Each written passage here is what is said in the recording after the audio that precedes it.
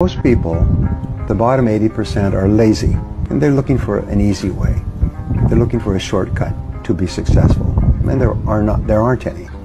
But if you do something repeatedly over and over, you develop a habit. So most people are in the habit of looking for easy ways to get the things they want. And they're surrounded by people who think the same way. Mm. You know, as much as 95% of your thinking is determined by the people that you associate with on a regular basis.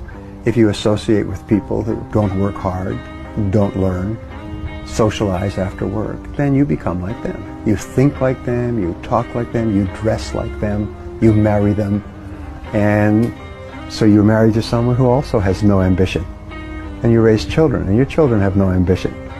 Just go to work and complain about your work. But top people associate with other top people.